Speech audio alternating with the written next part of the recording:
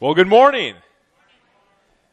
It's such a pleasure to be with you and uh, an honor as well. Uh, my name is John Lawrey, and I work at Trout Lake Camps. And uh, I have had some great conversations this morning already with some um, folks who've been involved there, uh, volunteering in different capacities. And we just appreciate you so much. And we also, I've seen some people here whose faces I've seen at Trout and it's great to uh, great to be here. Um, always love being here at Glory Baptist. So thank you so much for having me here. Um, I feel like I'm a little late to the party uh, with the third pitch for volunteers, uh, but we have. I've got that bag of pretzels, um, but um, we are looking for some uh, young men. Um, we are in dire need of some young men to serve uh, as counselors this summer. So if you are a high school graduate and you want to serve the Lord even for a few weeks, um, I do see there's some young men here. Um, we are paying um, uh, for um, coming even for a few weeks, and there's some other added bonuses in there. So if you're interested, please find me afterwards. We also would love to have um, some young women as well. Um, and if you're interested, uh, talk to me after the service. So, but um, before I begin, um, let's. Uh, would you please join me in prayer? Heavenly Father, I thank you so much for your word. And Lord, your word tells us that it is a, uh, a sword that pierces to um, between the marrow and the bone and it just gets down to the heart of things, Lord. And we just pray that today your word would do that, that it would um, give us, um, give to those who believe assurance, and for those who are searching today, that it would provide not only the answer, but the power um, that they need to come to you. Um, Holy Spirit, I just ask that you would move through the preaching of your word. I pray that you would be with me, and I pray that you would encourage us and feed us today from your word and draw us closer to your Son, Jesus, in your holy name. Amen. Well, please open your Bibles with me to John chapter 5. And no, I didn't pick this book just because it's my name. Although that's, that's always a, a good, good uh, idea if you can't think of what to do. Um, and please turn to chapter 5, verses 19 through 30. And as we begin um, this morning, this is our text for today. Now, uh, just to give you a little background, Jesus has just healed a paralyzed man on the Sabbath, and the Pharisees are criticizing him for this. And Jesus has taken this opportunity uh, to heal this man on the Sabbath to talk about how he and his father um, share the same work. So Jesus said to them, Truly, truly, I say to you, the Son can do nothing of his own accord, but only what he sees the Father doing. For whatever the Father does, that the Son does likewise. For the Father loves the Son and shows him all that he himself is doing. And greater works than these will he show him, so that you may marvel. For as the Father raises the dead and gives them life, so also the Son gives life to whom he will. The Father judges no one, but has given all judgment to the Son, that all may honor the Son just as they honor the Father. Whoever does not honor the Son does not honor the Father who sent him. Truly, truly, I, I, say to you, whoever hears my word and believes him who sent me has eternal life. He does not come into judgment, but has passed from death to life. Truly, truly, I say to you, an hour is coming and is now here when the dead will hear the voice of the Son of God, and those who hear will live. For as the Father has life in himself, so he has granted the Son also to have life in himself. and he has given him authority to execute judgment because he is the Son of Man. Do not marvel at this, for an hour is coming when all who are in the tombs will hear his voice and come out, and those who have done good to the resurrection of life, and those who have done evil to the resurrection of judgment. So let's begin here this morning. Let's get uh, a little involved here. And what I'm going to ask you to do is I have a couple of questions, and I'm going to have you um, raise your hand if the answer is yes for you. All right? So we'll start off with an easy one. How many of you have a body? All right. So that was an easy one. Okay. How many of you have a soul? How many of you have a soul? Fantastic. All right. Now, how many of you believe your soul will outlast your present body? Raise your hands. All right. I think that's a pretty good reason to pay attention to Jesus' words here today. Um, Jesus teaches us that there will be two resurrections one leading to eternal life and one leading to eternal punishment. We will all meet Jesus. But will you meet Jesus? Will you see him face to face in that moment as your Savior or as your judge? Which way will it be? Well, I know from Scripture the way that Jesus would like it to be. The way he'd prefer it is certain. He does not want to condemn you.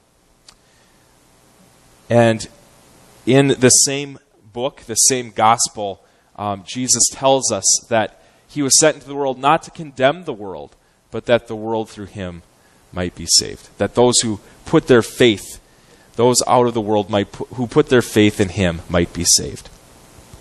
He wants for each and every one of us in this room to cross over from death to life. And that's the whole reason that he stepped out of heaven and became one of us and died on a cross. So that we might cross over from death to life. So, this is what Jesus wants for you. Um, he wants life. As we study Jesus' words today, we approach what can literally save our lives forever if we believe it. Many of you already do believe that. And so you might ask, okay, well, I already do believe. What does this passage hold for me? Well, I'm glad you asked that. We see three powerful truths that give us insight here into Christ's character, um, insight that forms his character in us. And they also, I believe, give us a sobering charge that we can share with the people in our lives. Maybe some of you are thinking about how to share the gospel, and I think this passage gives a very powerful um, jolt of reality um, that also at the same time provides a powerful dose of God's love and His mercy um, and so this is something that as I walk through today, perhaps God will use this passage in um, in your mouths um, to share with your friends and loved ones and neighbors. So here's three truths we will see in the text. First, we must honor Jesus if we are to honor the Father. Um, we can't have a relationship with God um, outside of having a relationship with Jesus. Um, we can't say, "Oh yeah, um, I I I'm totally about God, but I'm not sure about placing my faith in Jesus." That doesn't fly. Um, number two, faith is what honors Jesus and transfers us from death to life. So faith is essentially the wings of that airplane. It, it's what gets it off the ground. Faith is what honors Jesus and transfers us from death to life. And three, Jesus has authority to both save and condemn. So let's begin going through these verses. And please follow along with me in your Bibles. Now, um, there is, uh, as we read verse 19, um, Jesus says that there is something that he cannot do. Isn't that a funny way to think about it? There is something that Jesus can't do. Jesus can do everything, right? But he says that there's one thing that he cannot do. And what is that? What, the one thing that Jesus cannot do is that he cannot do anything outside of God's will. Now, Jesus healed a man on the Sabbath because his Father, God the Father, also heals and saves round the clock. Uh, God does not uh, say, oh, sorry, I'm off hours right now. You'll have to come back after the weekend, fortunately. so, Jesus is healing round the clock, and he makes a point of healing this man on the Sabbath when he knows that how the Pharisees will react so that he can bring this point out. He is doing the same thing that his father does. He is working. Jesus doesn't try to sidestep this issue. He brings he meets this controversy head on so that he can show my father is working and I am working. I am working on the Sabbath just as my father is working. Now, the world tells us that power gives license to do as you please. Um, we all kind of grow up and we say things um, when we, uh, right before we leave home, like, well, when I am an adult, I'm going to stay up till 2 in the morning and I'm going to eat spaghetti every night. Well, maybe I'm the only one who said that, but we all have these things, these ideas of what we're going to do when we get older. We're going to. Um, I remember talking with this little boy uh, who was in first grade, and he was like, "When I, when I'm 19, I'm going to have a Corvette." Oh, really? Yeah, but not a pink one. Okay. It's going to be tan, and he was just telling me all these plans that he had.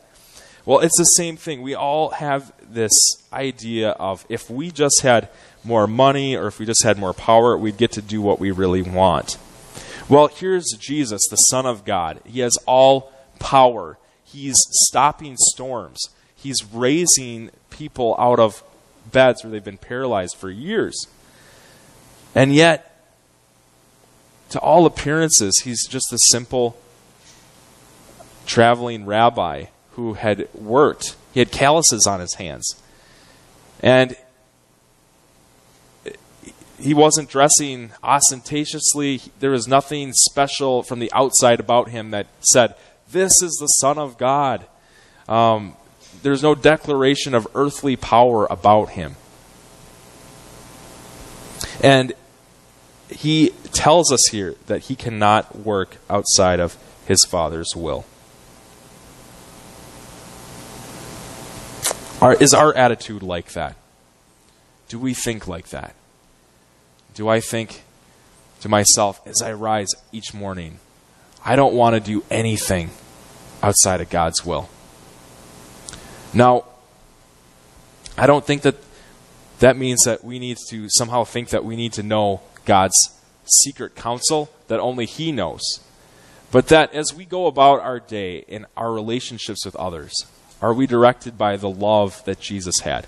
Are we directed by that love for the Father that that basically gives the red or green light to the words or the actions that we do? God calls us to a partnership in his saving work, and we will learn more here in verse 20. Now, in verse 20, Jesus says this For the Father loves the Son and shows him all that he himself is doing and greater works than these will he show him, so that you may marvel. God is going to show us amazing things. But before he shows us amazing things in terms of miracles and amazing works, he shows us something even bigger and even more beautiful. I, I get goosebumps when I look at this passage, and, I'll, and we'll see here in just a moment. Jesus gives us a peek at the center of the universe. Before God even made the universe, this was the core. This is the center. Um, everything that exists in the universe exists for the sake of the relationship between Father, Son, and Holy Spirit. The universe at every level is a canvas for the Father's love for the Son and the Son's love for the Father to be painted. God works not because he has to, like we do often, but because he is so full of glory that he spills over. He is so full of love for the Son, and the Son is so full of love for the Father that they make a world, and they make a world in which they make us in the image of God. And so, as we um, as we look at the universe, everything that exists, the smallest bug, um, the biggest star, exists for the glory of God. And God makes an audience to be wowed forever by this love. You know, you think about um, how all over the earth there's beautiful things, and yet there's a sense in which um, until um, there's this audience to see it um, and, and, cheer for it. You know, um, there's something missing there, and so God, um, God creates us as an audience to just enjoy this glorious canvas that He's painted. And he makes this audience to last forever. And the pinnacle of this masterpiece is his work of salvation. And he makes us as an audience to enjoy the benefits of salvation forever. I just get goosebumps thinking about this because he has made us to marvel at him forever. And one piece of that, one of the greatest wows, is bringing the dead to life. Let's take a look at verse 21 now. Jesus clarifies more in this verse. For as the Father raises the dead and gives them life, so also the Son gives life to whom he will. So Jesus is doing the Father's work. He's doing miracle work, saving work. He's doing this work in the Father's shoes, and he's doing it with the Father's power. And Jesus literally raised the dead a few times. We can look back at the story of Lazarus. We can look back at at um, a a boy who was brought um, out, a little girl. Jesus brought people back to life literally several times. Um,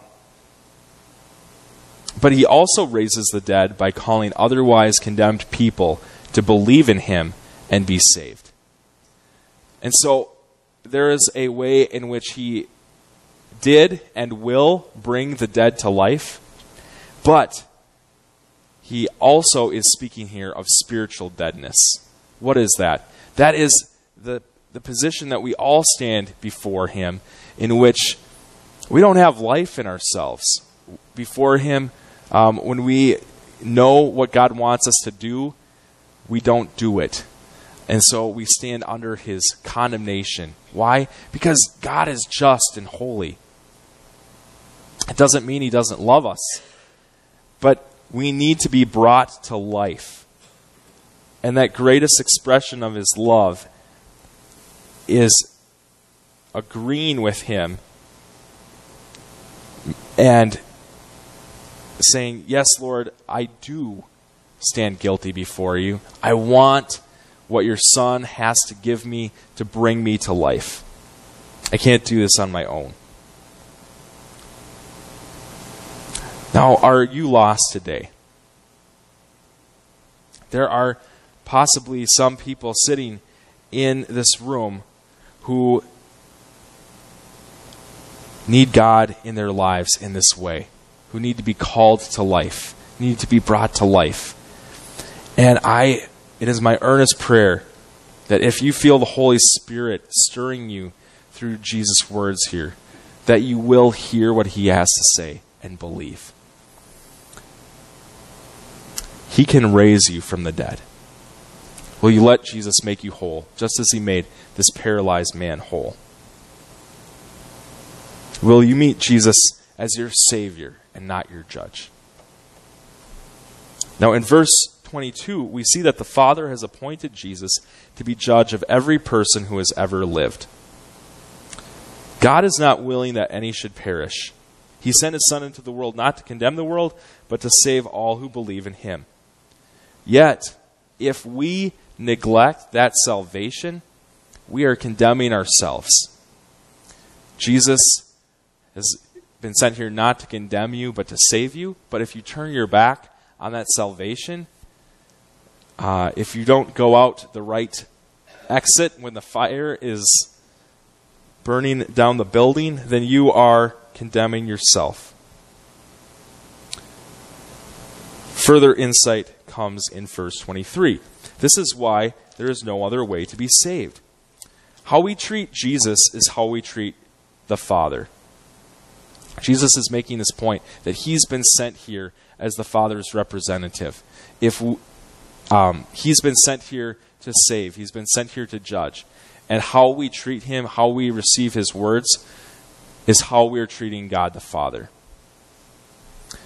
That's why if we don't listen to what Jesus says, even when his word convicts us, maybe we don't like it right away, maybe it it it makes us uh, feel convicted, and we're like, ah, I, I don't like those words. Um, if we do not listen to him, then we are rejecting the words of God the Father. But if we do listen, even if we go through those feelings of conviction, those feelings that make us know, hey, I better sit up and listen here, um, there is good news for those who believe. God makes it possible for us to be declared righteous so that we can be with Him forever, rather than being separated from Him by certain judgment. Right here in verse 24 Truly, truly, I say to you, whoever hears my word and believes Him who sent me has eternal life. He does not come into judgment, but has passed from death to life. Man, talk about some good news here. He does not come into judgment, but has passed from death to life. When we did our show of hands here, there was a feeling in the room of, wow. If you really think about it, eternity is very important to come face to face with. Um, and Jesus here brings us to the best possible news for each and every one of us that when we meet him face to face, um, we his judgment, if we believe in him, our judgment happened at the cross. Jesus paid for all of our sins, every sin that we have done, ever will do. Jesus paid for those sins. And so if we believe in him, put our faith in him, we are not going to be judged. Um, we are going to pass from death into life. Um, and so, this is good news. Uh, we it means your eternal life can begin right now. So, if you believe in Jesus as your Savior, um, you stand on the far side of sin, death, and hell, and you have passed from death into life. Um, this good news puts everything in your life into perspective. At verse 25 Every time someone believes, uh, they have passed from death into life. And this will be more evident on an epic scale when Jesus returns and we rise to meet him, preceded by those who have died in Christ. So let's take a look here at verse 25. Um, truly, truly, I say to you, an hour is coming and is now here when the dead will hear the voice of the Son of God, and those who hear will live. So here Jesus is speaking about the preaching of the gospel. And here he refers to himself as the Son of God. Later on, he's going to talk about himself as the Son of Man. But as the Son of God, Jesus has authority that when people believe on what he has to say, um, those who believe in him will find that life that we just talked about. So let's go to verse 26. For as the Father has life in himself, so he has granted the Son also to have life in himself. So just as we honor God the Father with faith, we need to honor God the Son with faith. We need to believe Jesus' words. Um, it comes from his unique relationship with the Father, um, this authority to save. Jesus is just like the Father, and that is why the Father has given him authority to save. At the same time, the Father gives Jesus authority to judge. Now, we will see this very um, clearly in verse 27. Daniel prophesied in Daniel 7:13 the final unending kingdom in which the Son of Man is given everlasting dominion over all people by the Ancient of Days. And when Jesus uh, ascended into heaven and sat down at the right hand of God, as it talks about in Psalm 110, um, this happened. All authority was given to him in heaven and on earth. Jesus is that king, In judgment is a king's prerogative. Yet, in God's goodness, He set aside this time that we're living in between His first coming and His second coming, in which uh, we have time to repent. Because remember that reason that God sent His Son. He sent Him not to condemn the world, but that the world through Him might be saved. And yet, He is that King. He is that King who it's in His authority, uh, it's in His power as a Son of Man here. And notice how He talks about Himself as both the Son of God and the Son of Man here. Um, it's his authority as Son of God to save, and his authority as Son of Man to judge. And he's given us this time to repent and be saved. But if we do not, whether we do or whether we don't, um, his authority will reign over us because he is the king over all creation. Uh, verse 28 From speaking of spiritual rebirth, Jesus shifts to the more concrete future resurrection. So, Jesus has talked about how the spiritually dead, those who will hear his voice, will live. Here, he's going to talk about how in the future, at his second coming, and then um, later on at the final judgment, the resurrection of the, the wicked, those who hear his voice will literally rise out of the graves. Um, Jesus' voice will summon all. Let's take a look here at verse 28. Do not marvel at this, for an hour is coming when all who are in the tombs will hear his voice and come out. Those who have done good to the resurrection of life, and those who have done evil to the resurrection of judgment. So these are two different resurrections. Um, we know from Paul's letters that at Jesus' coming, um, those who are in Christ, those who are alive, and those who have died in Christ will rise up and they will um, be with the Lord. We also know that there will be a final judgment in which all who have ever lived who have not received Christ will receive God's judgment at the white throne. Um, and so Jesus shifts to this very concrete reality we everyone will hear his voice. Everyone will rise to one of those two resurrections. But how will you hear his voice? That is what matters to you personally. That is what matters to each and every one of us. If you believe, you will hear the voice of your beloved calling you home. You will hear the voice of your Savior. You will hear the voice of your friend. But if you do not believe, you will hear the voice of your judge calling you to judgment. There will be two resurrections one for believers at the rapture, and another for the wicked at the final judgment. Now, if this verse were taken out of context, uh, verse 29, some might say, Well, I do good things. It says here, um, those who have done good to the resurrection of life, I do good things. So why, why do you need this faith stuff. Why do I need to believe? Why is this faith stuff so important? Well, in God's eyes, we all fall short. And this verse, doing good, is better translated as doing what is noble. Now, what is doing what is noble in God's eyes? Um, Jesus answers this question for us in other places in the same gospel. Um, faith in Christ is what God finds praiseworthy and what God wants to reward. Um, doing good here is shorthand for believing in His Son. Not earning our way, which we can't do. We can't, God doesn't need us to prove ourselves because we all fall short. All He wants us to do is to honor His Son with faith because that honors Him. If we don't believe, we reject God and practice what is evil because we essentially are calling God a liar if we don't believe Him. Everyone will exist forever, but those who believe in Jesus will be resurrected to life, while those who don't will rise to eternal condemnation. We gain further insight in verse 30. Verse 30 says this I can do nothing on my own. As I hear, I judge, and my judgment is just, because I seek not my own will, but the will of him who sent me.